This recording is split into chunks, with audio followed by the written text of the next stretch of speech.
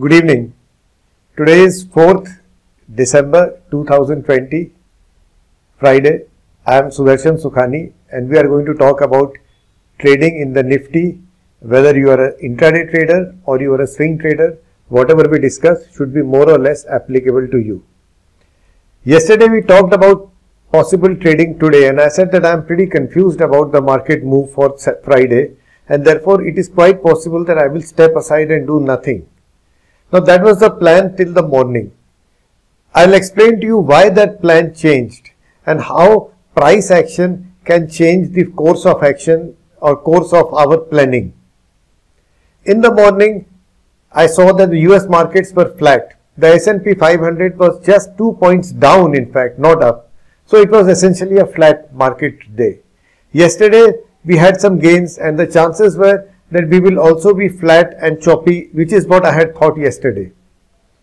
The first sign that came that perhaps we will not be like the US markets, that sign came when the pre-market was conducted and the pre-market Nifty closed well above 40 to 50 points higher. Now pre-market is not the real market.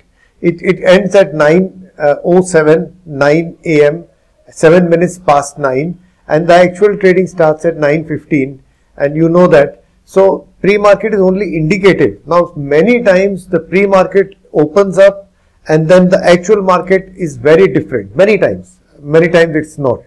But there was something else. The SGX was trading higher. Now the SGX is real money. Real futures are being traded there. It's not notional like the pre-market. So we had two signs that something may be different for the day. The pre-market was higher, the SGX was trading much higher. It should have been flat if the US markets were being followed. That sign told us perhaps something was going to be different. So I was ready to take a long position if the need be. Now the step that I have taken was the easiest way to take a long position is to take an opening range breakout you know I'm not going to take, uh, you know that I'm only going to go long. I will not take a short position. I'm going long because the market is showing signs of strength. If it is showing signs of strength, then it will open and then throughout the day it will go up. So it has to cross the high of the first 15 minutes if it has to go higher. That's the theory and it's very convenient and easy to trade the ORB when we know the direction. I am not looking to go short. So if the market crosses the 15 minute high, I will go long. If it doesn't, I am not doing anything anyway. Now the Nifty crossed the first 15 minute high. So the idea was to go long, but something else was happening. The banks were outperforming. Now the banks are a very volatile instrument, the Nifty bank.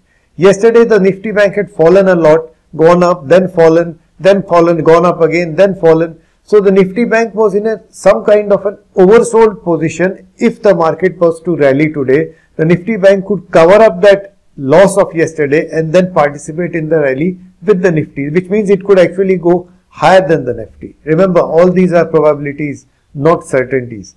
So I rarely trade the Nifty Bank, but today was one opportunity when I thought I should go long in the Nifty Bank also. So I took the trade in the Nifty and in the Nifty Bank the first trade when it, they broke their high, when the Nifty broke the high of the first 15 minutes, almost immediately, and I think I think it was 9:35 or so.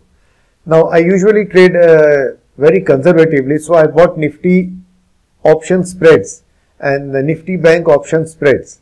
That's that gives me the volume can be higher or lower, but the spreads give me much more comfort. Now the Nifty and the Nifty Bank actually started running after that. After the first 15-20 minutes, it was jumping. By 11 a.m., the spreads were making a fair amount of money and the Nifty Bank was actually 350, 400 points higher. So I thought at least there will be one mid-hour correction. You know, the market will not go up from here 300 points to 500 points to 1000 points. Actually, it can, but it's very unlikely. It does that only once in six months. And if it does that today, it does it.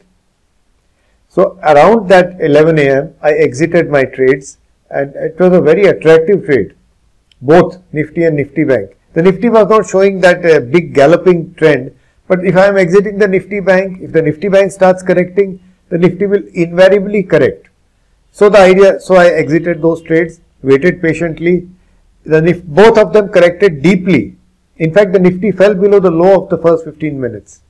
Then they started a rally. I did not participate because I was not sure whether this rally will sustain or not, but it sustained. Around 2 pm now the market is ready to close. At 2 pm the market was at the top of the day's range at 2 pm. And the US markets, the pre-market in the US was showing some minor gains, which means it is possible that the US could uh, show some gains and we could again have a gap up after the weekend on Monday morning. All these are probabilities.